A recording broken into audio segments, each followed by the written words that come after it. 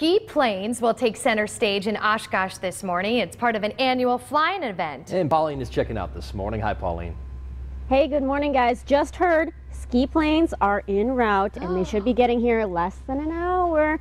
But until then, we're going to learn more about ski planes, what they are. We've got the manager of Pioneer Airport here. We have Jim Casper. Good morning, Jim. Good morning.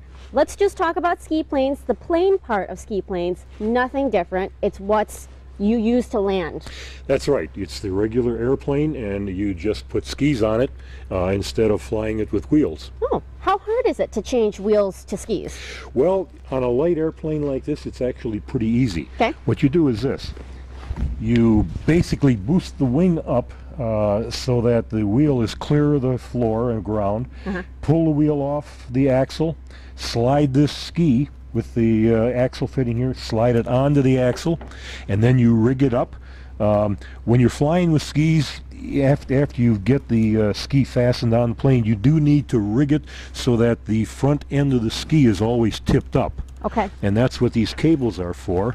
And you've got the uh, rubber bungee spring that hooks onto the front, hooks onto the airplane, and keeps the skis tipped up while you're flying because you don't want to land with your skis down.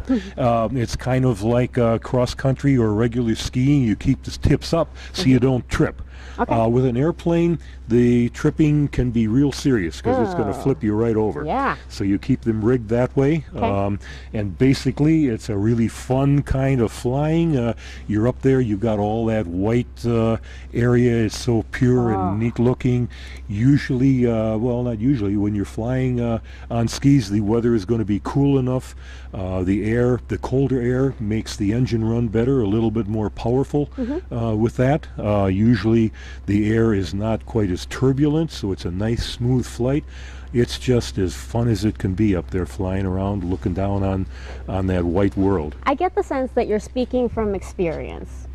I've well, actually i have had a chance uh, uh, to uh, fly in a uh, in a, a few of the ski planes. Um, it is a lot of fun. We have a, a pretty nice airplane here that we put on skis sometime that we uh, fly during the uh, during the summer. And uh, we give uh, kids free airplane rides in that plane. And it's a really nice handling plane. We have a nice set of skis for that. Uh, right now we're working on the engine since you know we're not uh, we're not open this is just we just open up for this one day uh, to have a whole lot of fun in the snow Yes, and you won't want to miss it. Main action so starts between like 10:30 and 2, but you can have, you you can arrive like a little bit after 9. That's hopefully when the ski planes will come here.